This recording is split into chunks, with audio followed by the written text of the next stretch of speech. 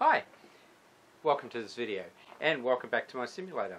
Uh, I like to fly the uh, Beechcraft or Textron Aviation uh, King Air 350i which is a twin turboprop uh, aircraft. But I've had trouble configuring my Bravo throttle quadrant uh, to work with it. Uh, so I've worked that out now and I'm going to take you along for the ride. I'm going to show you the correct way to start uh, the engines on the King Air 350, the correct method for uh, shutting them down. Uh, I'll show you how to configure the Bravo throttle quadrant and finally I'll show you how to feather it in flight and restart the engine. So uh, let's see what that looks like.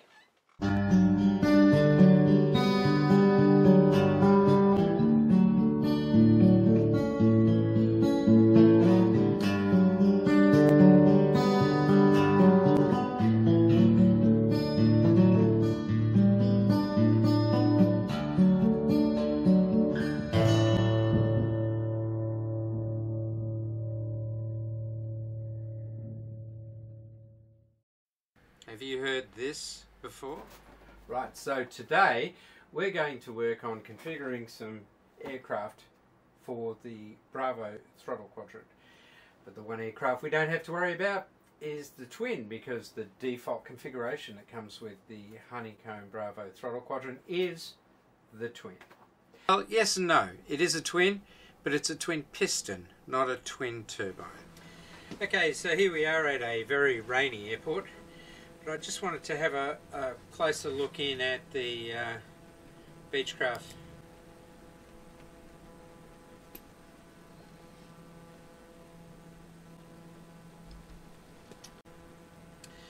Okay, so let's get in and uh, we'll get some lights on. Uh, have been inside and turned things on, but you can see that the propellers are in fact uh, feathered. Now, of course, if you play with them, they'll go out of feather and you can't get them back in. And uh, I'll explain why that is later on. Anyway, we'll head inside. And uh, the first thing we're going to look at is the switches.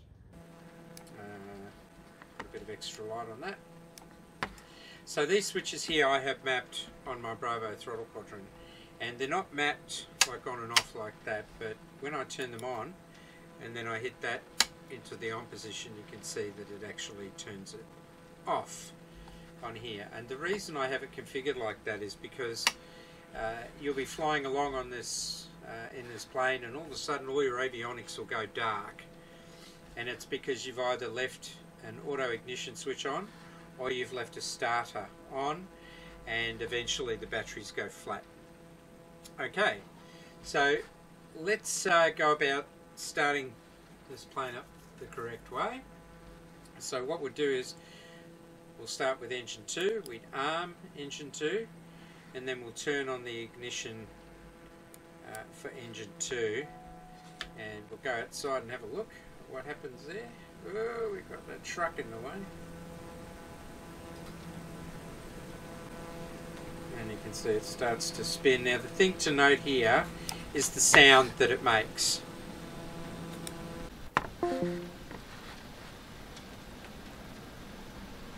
Hear that thwopping sound like a helicopter and that means that it's turning uh, and it's uh, it's actually in the feathered position. Okay so that's running. We can hear it. What we'll do is just introduce some fuel. These are in the cutoff position. These are in the feather position. These are in the throttle minimum position. Okay so we'll bring that up slowly and you'll hear it when it gets fuel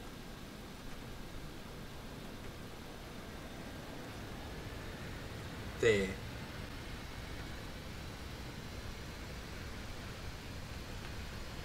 Okay. And now you can get a bit more sense of that helicoptering sort of sound, the thwopping even more. But the engine, the propeller doesn't spin up to a really fast rate, but we'll move the throttle up to high idle.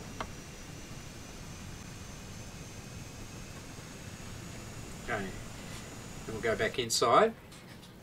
And I'm going to turn that off and I'm going to turn the starter to off. Now we'll just have a quick look at our throttles the way the throttles are set.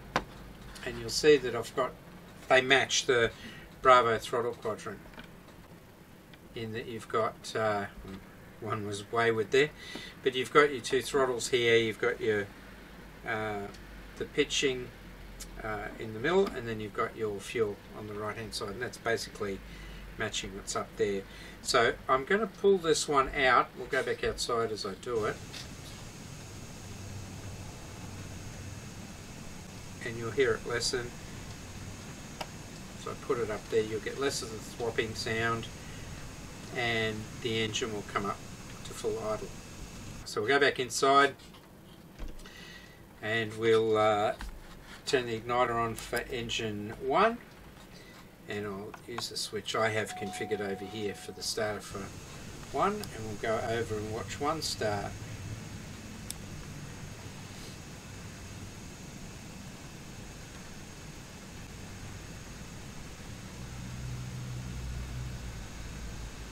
Again you should still hear that thwopping sound just as you normally would and once the engine is up to speed we'll do the same thing. We'll introduce fuel and you should hear the turbine uh, ignite.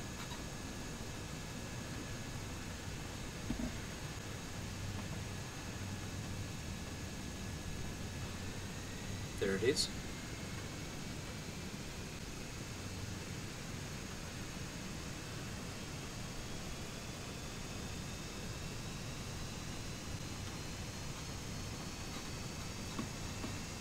Okay, there it is, it's spinning now. We'll take that up to full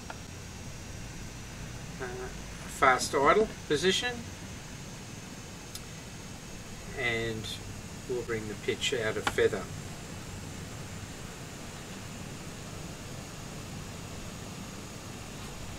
And we'll go back inside, we'll turn our igniter off and turn the engine starter off.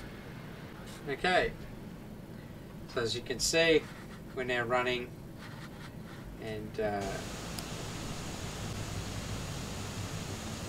nicely. Now, you can reverse this plane. You wouldn't normally do this, of course, but I'm going to. I have my uh, this switch here, lever on my throttle quadrant. You would have seen before that's park brake, not um, not actually uh, gear. I have the gear up here. So with this, the way it's set up, when you pull back on the throttle, it's actually going to put them in reverse. Now, as you start to back up, don't use the brake. Don't use the park brake because if you do, you've got to use the throttle there. If you do, um, it'll tip up. The nose will come up and if you've got crash settings on it's going to crash. Okay. We'll just do this here just to be quicker. Okay. So the correct way to to shut them down of course is to also put them back into a feathered position. Now normally it's very difficult to get them feathered if you don't have all this Bravo configured properly. The reason behind part of this is that the feathering won't work unless they're at high idle. So when you go to feather them, uh, they're at high idle now, back. When you put them in feather, you should hear the pitch change as it begins to do that thwopping sound. If it doesn't, I'll show you what you have to do.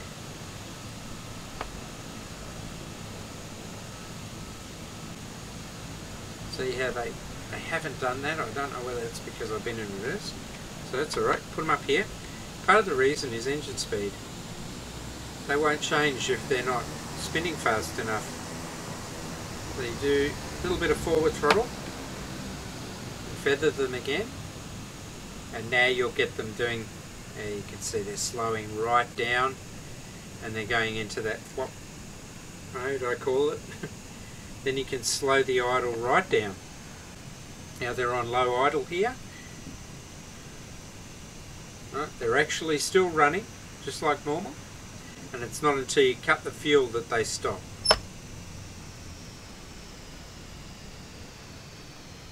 And we'll see that they'll come to a stop, and you'll see that the uh, the blades are all in the full feathered position. If you mess with it like this, watch they'll go out of feather, right? But you can't get them back. They won't go back into feather when you pull that down. And that's because they'll only go into the feather position if the engines are running fast enough. Okay, so that's the correct way to uh, start up and shut down the engines on this uh, King Air 350. I'll show you how to feather an engine in flight after I've showed you how to configure your Bravo throttle quadrant so all this works correctly. Right, yeah. So let's go into control options and have a look at what I've done and how I've set this up.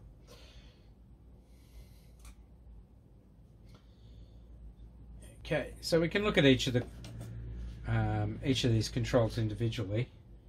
Uh, first of all, what I'm going to do is uh, I'm going to search by uh, input just to show you how I've got these switches set up.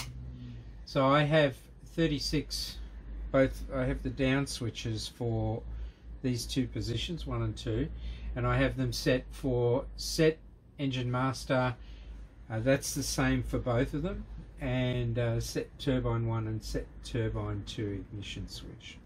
So that's that. Okay they have that so. Next let's look at the throttle. Uh, we'll search by input and we'll go throttle there so oh, I did I did two actually so that probably wasn't necessary. One and two are configured the same. So you've got this uh, joy joystick L axis, and if I did um, if I did one, this one here, okay. Ooh, spoilers. I've got a spoiler axis there. That's wrong. Uh, spoilers. I should take that out. I'll clear that that's left over from the basic profile. So that's just my throttle one uh, normal axis. It's not reversed.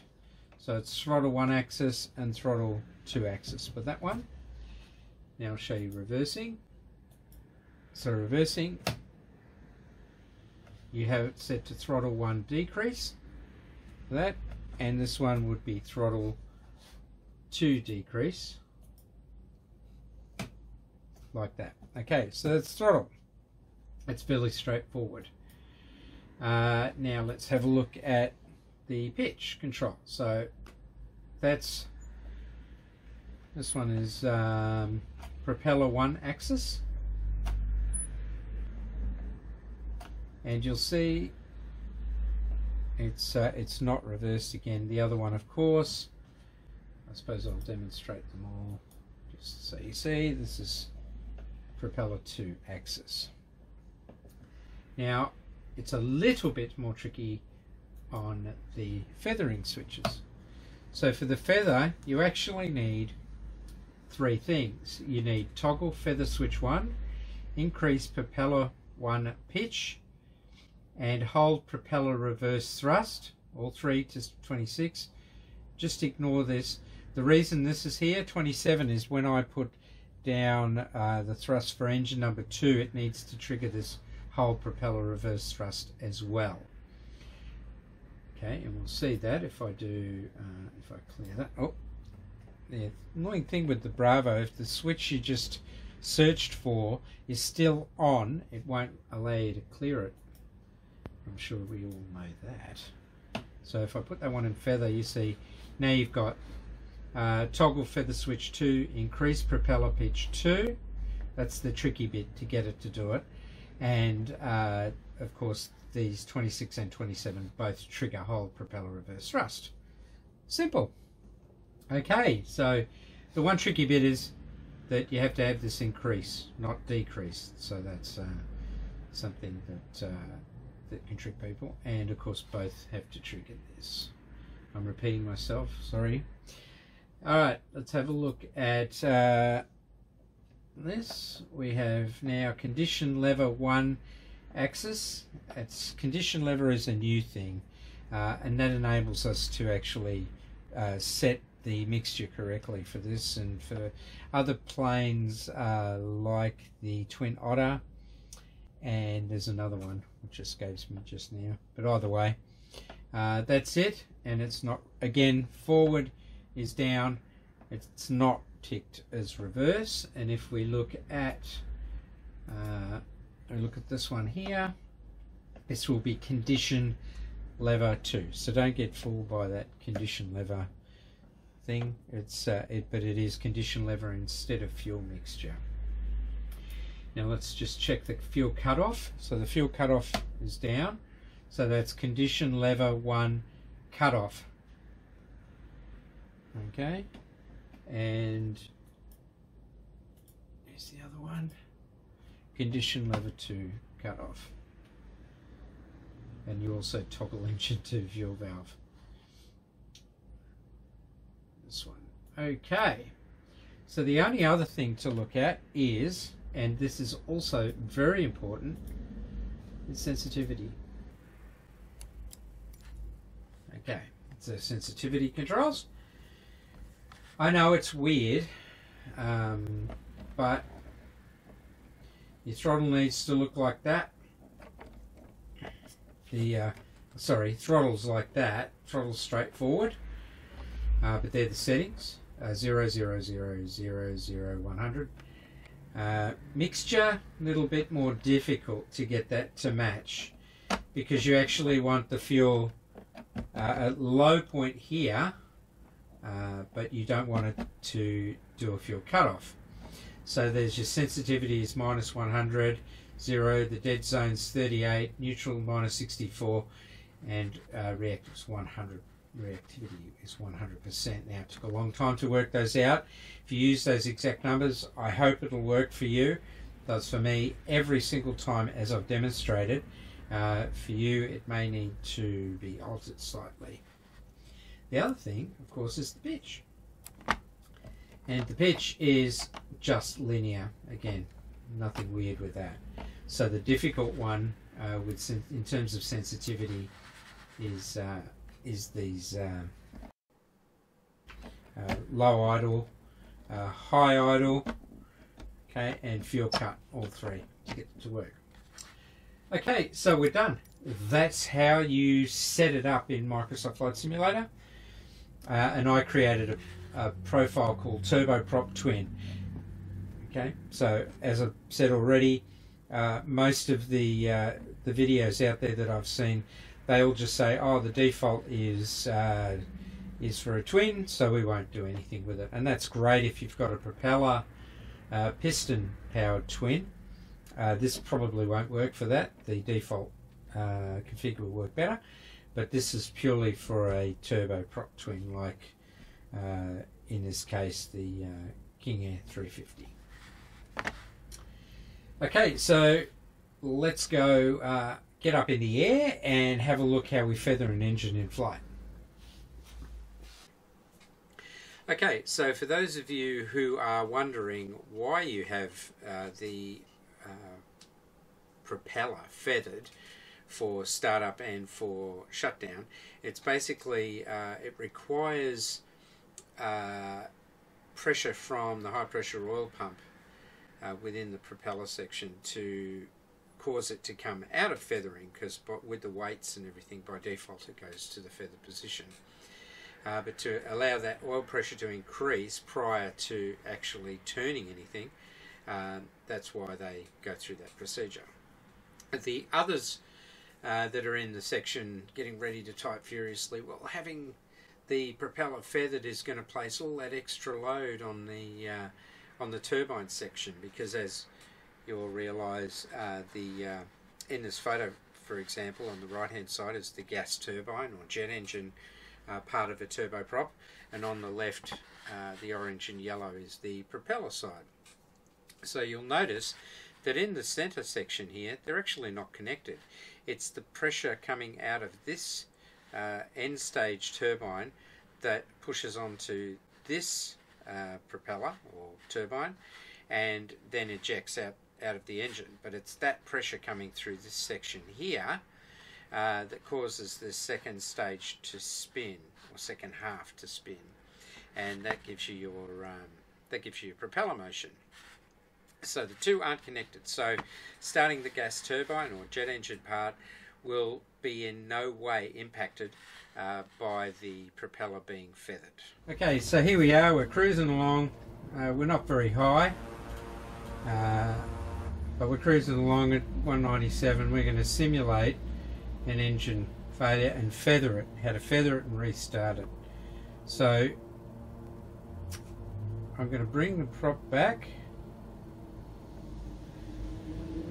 And I'm going to bring this backwards as well on engine 1. It's going to want landing gear.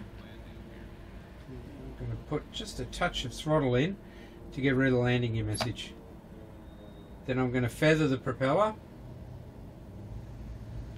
Now of course we're going to have to watch our speed. Have to increase the speed a little bit. We are going to get a warning.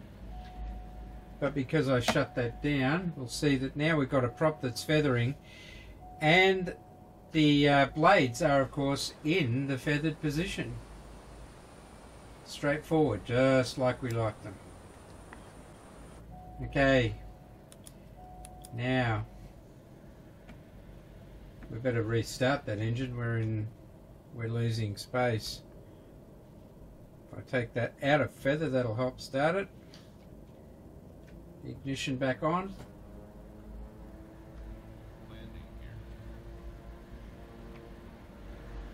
The turbine hasn't started, of course. We have to put that on.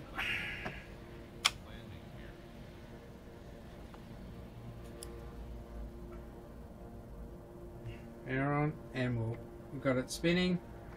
We'll introduce some fuel.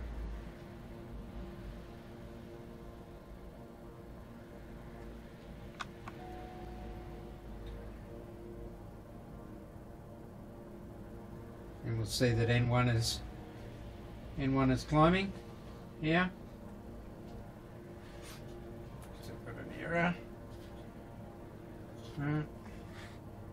Able to turn off the igniters, turn off the starter.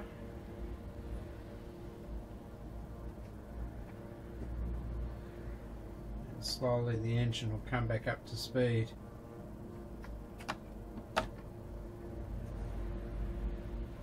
There we go. And we're now back running on two engines. So that's a simple procedure to go through. You can see here that IGT and everything's all coming up nicely. And we probably don't need to be running them flat stick anymore because yeah, there we go. We went high. So there you go. That's how to feather an engine in flight and how to restart it. Uh, I was pretty low, 3,500. You'd want a bit more height, I think, for most uh, tests, I guess. Okay, so there you go. I hope that's of help to you. Uh, for those of you that fly the Kodiak or the Twin Otter, which are also uh, twin turboprop aircraft, this should be able to lead you in the right direction. I can't do a video on those because I don't own those aircraft. So take the information I've given you today and uh, utilize that uh, to work out because the configuration will be very similar. Uh, so with that I'll say you all look after each other, take care and be kind to one another and I'll see you on the next video.